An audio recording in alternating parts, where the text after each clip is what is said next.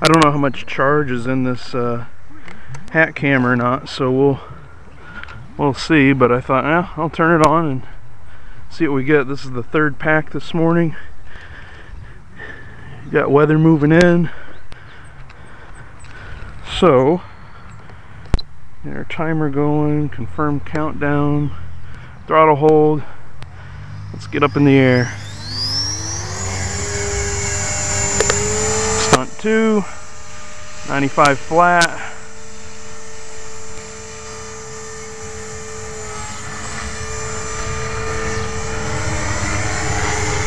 Piro to the right, piro to the left. Looks like everything's working okay. Except for me, of course.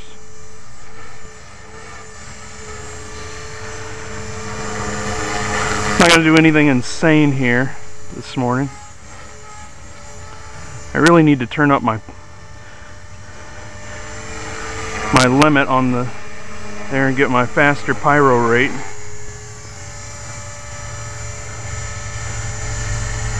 But this morning I just been kind of working in some forward flight, working on my orientations.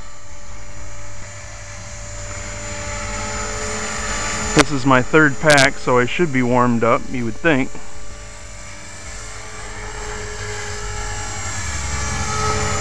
Alright, let's do some orientation here. For some reason, rolling nose into the left is harder for me than from the right.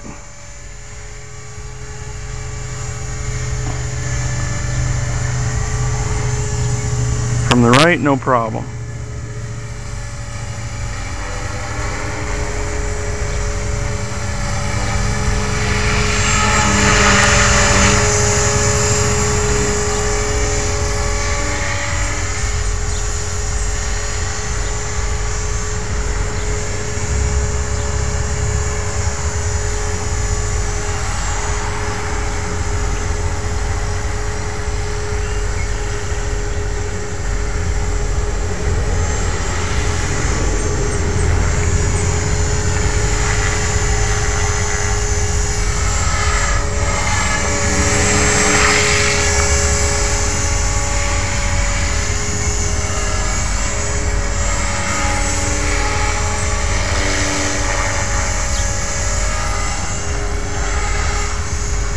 Couple weeks ago I had it where I could just sit here with a really slow piro and correct it all the way around but been rusty for almost a week now. Too much work going on.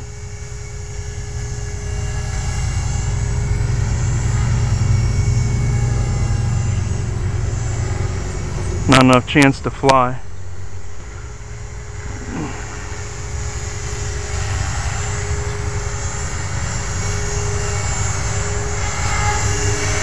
I should be able to do about three or four rotations like that, even slower though.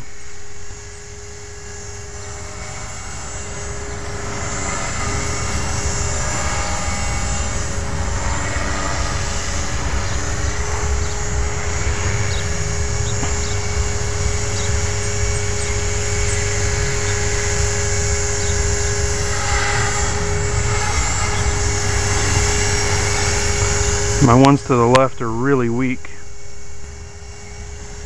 Let's get in the box here.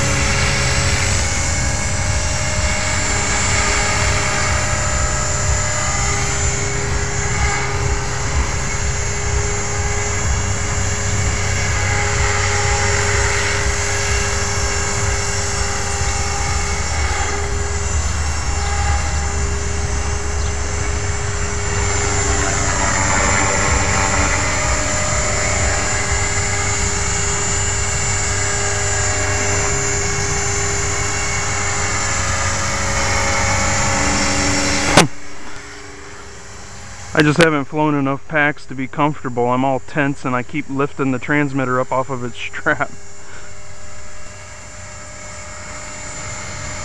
And I don't know any remedy to that than just to fly a bunch more packs.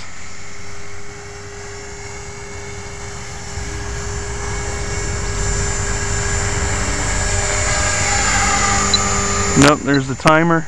Time for auto. Still in stunt two. Okay, there's the timer, but the onboard hasn't gone off yet. So when that happens, when I still got time on the pack, I like to sit here close in and do some side in hover. Very slow forward flight. I think it's good for my orientation.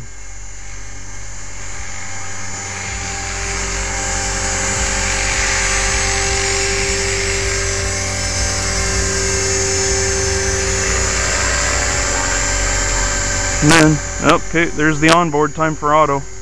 Really time for auto. There we go. That's probably my best auto of the day so far because I didn't bounce it. The other ones I didn't bounce too bad, but uh, bounced them a little bit. So good auto, good flight. I don't know, this weather's moving in. Maybe I have time for one last pack. Check it out.